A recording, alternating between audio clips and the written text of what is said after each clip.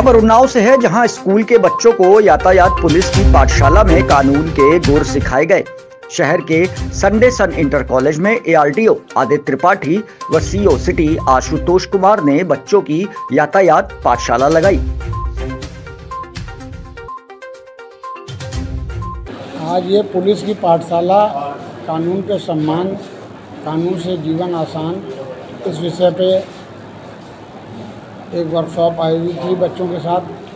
बच्चों को ट्रैफ़िक नियमों की जानकारी दी गई। उनको